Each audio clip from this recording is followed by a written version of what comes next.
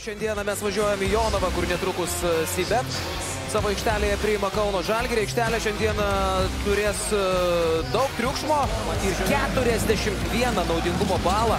Kolumbietis surinko rungtynėse su pasvalio pieno šis e, apskritai yra antras pagal taiklumą oh. lygos snaiperis. Džošas Nybau yra pirmas pagal tokius žaidėjus su pasvaliu pataikė 2 iš 4, tada 2 pirmuosius metė taikliai ir užsikūrė visoms geroms rungtynėms. Labai dažnai net ir pasitaupo e, gynyboje, jog turėtų daugiau jėgų puolimo, jo puolime turi... Viečiams jau pasireiškia ir šiame epizode. Ojojoj, 3 ir 1 baudos metimas. Gynyba prieš Blaževičių. Rinkūnas. Geras perdavimas Marekui Blaževičiui. Gerai ir čia būti žvaigždė, sako Virginijus Šeškus. Ir e, pats Virgis atrodo Garetą jau įsimylėjo. O Džošas Nybau. Mobilus penketas be tikro sunkiojo polėjo rungtyniauja e, Juris Dovcas. O čia tobula situacija Edgarui Ulanovui ir tai yra du taškai individualiais veiksmais.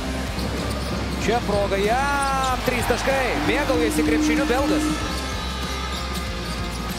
Košiūnas akimirką laisvas vėluoja Žaulės ir keuras metimas. Kovingumo gal net pats kovingiausias Lietuvos komandos žaidėjas. O čia pats šokliausias Žalgirio žaidėjas yra Žaulys, Šeškus, Lekomtas, Kozys ir Palaciosas, kuris pelno 2 taškai iš 34 bandymų.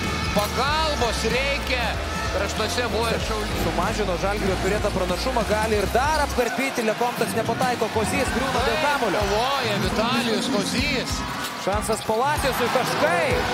Jonavos arenui patys matote, Saulė e, prasiskverbė pro užuolaidą ir toje zonoje ties 45 laipsnių. Prašo kamulio ten Palacijosas aikštės krašte, jo nemato komandos draugai, bet viską išsprendžia. Gali priartėti Jonava.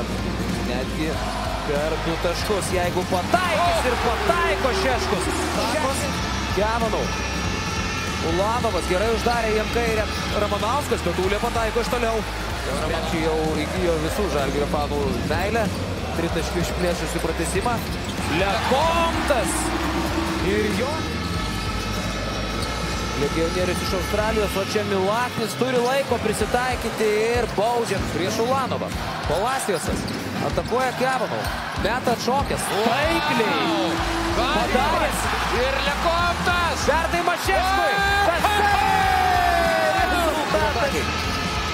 Ir klysta Žalgiriečiai, perima kamuolį Palaciosas ir iš viršaus. Komandos pergalė Palaciosas prieš Ulanovą meta sunkų metimą, jis netaiklus ir dar penkios minutės karščio. Ir nieko nesusikūrė Žalgiris, reikia improvizuoti. Ulanovas tai daro puikiai, pritraukė varžovų dėmesį. Sekundės atakai.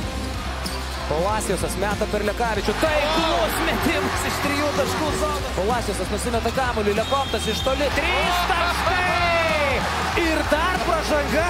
Nuo lentos metimas. Lukas Lekavičius vos nesuklysta. Kevono ar išgelbės dar kartą? Ne. Ne. Wow, fantastika. Jonavos į bet komandą ir Virginijus Šeškus prieš akiją.